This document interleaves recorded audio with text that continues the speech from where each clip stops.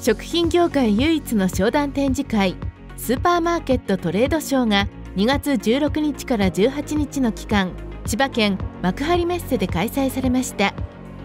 今年で56回目を迎える商談展示会には全国からスーパーマーケットやホテルレストランなどのバイヤーが訪れました。3年連続のコロナ禍で参加ブース入場者は減少しましたが食品業界最大のイベントだけに熱心な商談が行われていました。オープニングセレモニーでは横山清会長がコロナ禍で厳しい情勢が続いていますが市民の台所を預かるスーパーがまず元気でないとと劇を飛ばしました。また食品産業の情報発信の場としてビジネスチャンスを広げてくださいと挨拶しました。来賓挨拶では農林水産省枝本正明事務次官が食品業界を支える省流の場として貴重な商談会と評価するとともに経済産業省沢井俊審議官はこの商談会で食品業界がさらに元気になりますようにと挨拶。この後食品展示会の成功を記念してテープカットが行われました。これからも新しい、まあ、社会というか世界をですね、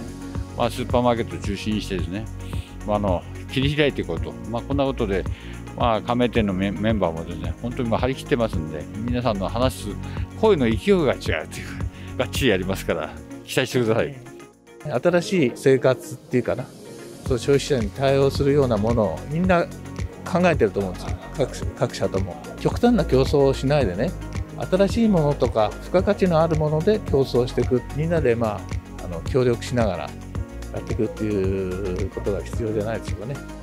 今回の出展者は同時開催のデリカテッセントレードショーこだわり食品フェアを合わせて1690社団体コマ数は3197コマに上りました。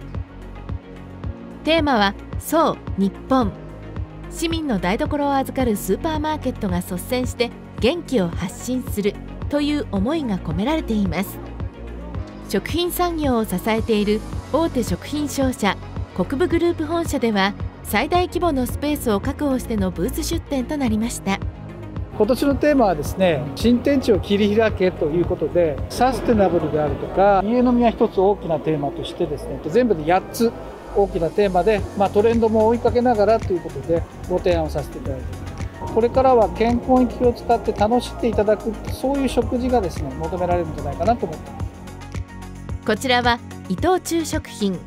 営業企画本部富永慎一郎さんにお聞きしました。凍眠市場といいましてあの液体凍結機の凍眠で商品を凍らせてであの新鮮そのままであのお楽しみいただける冷凍食品ブランドのコーナーでございます。コロナ禍で冷凍というものを興味を持っていただいたりだとか浸透してきましてようやくちょっとこの冷凍食品のブランドっていうところでですね認知が上がってきたという状況です。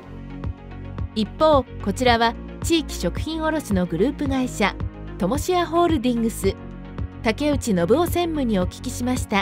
柚子はご承知の通り全国ナンバーワンの生産地ですからその柚子果汁を使ったさまざまな製品をメインでご提案をさせていただいています。柚子果汁100%こっちは直してて高知の西部にあります。これも柑橘系の果汁ですけれどさまざまなものにこうちょっとおかけいただければとても美味しい味が出ます。商談展示会には日本を代表する多くの食品商社が出展しています。食品商社はスーパーマーケットに食品供給や世界の食品情報を提供しています。スーパーマーケット商社メーカーの足並みが揃って初めて食品流通が可能になります。食品商社の中でメーカーブースが元気を発信しています。機能性表示食品の肉用の刻みわさびと、えー、新しい商品で判断力認知力を改善するという機能性表示食品となっております。市販用の商品で